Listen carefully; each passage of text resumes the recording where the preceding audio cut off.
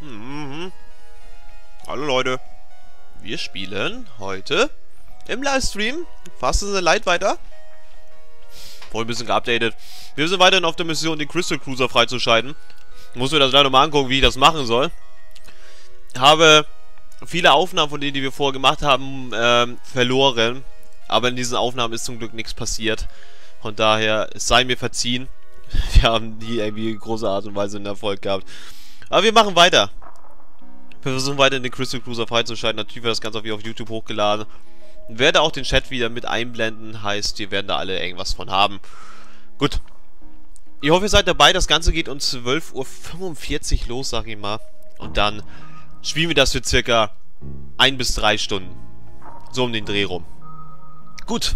Wenn ihr Lust habt, schaut vorbei. Und wenn nicht, dann bleibt heute weg. Und äh, dann warten wir auf das nächste Video von mir. Wollte ich mal sagen. Das übrigens gerade gerendert wird. Äh, Stage 6, die finale Stage, wird entweder heute oder morgen hochgeladen. Aber für heute erstmal wieder als Entschädigung.